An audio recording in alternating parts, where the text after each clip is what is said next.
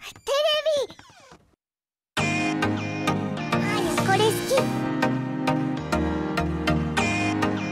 Hail and welcome. In this video I'll show you the effects of the new gold gear we'll get with the Umbala update. So, let's start.